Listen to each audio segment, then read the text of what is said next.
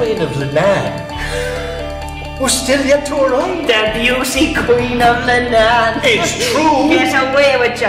It's true.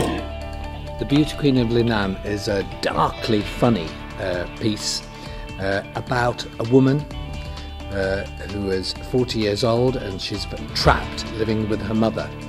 Uh, and she meets a man at a do, and this is the story of what develops between her relationship with her mother, which is fairly tempestuous, and this new man, Pato, who comes into her life.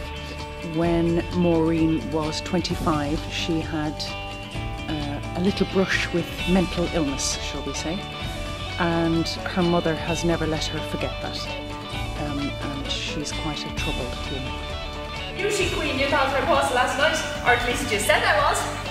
Well, now it's been putting on some clothes. You just sicken me.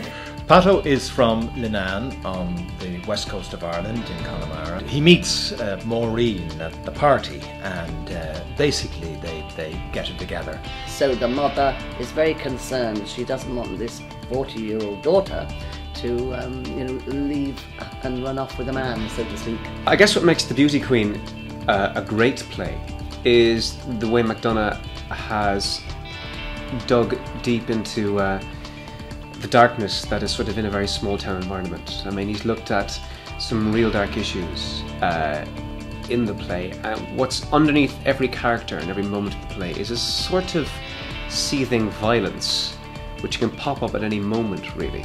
The audiences in Leicester have always loved Martin McDonagh's work, and Martin is written for the stage with a great play like The Beauty Queen of Leenane, and also uh, several films, including In Bruges and recently Seven Psychopaths, all of which have an element of darkness, of fear, and comedy all rolled into one. That's his style.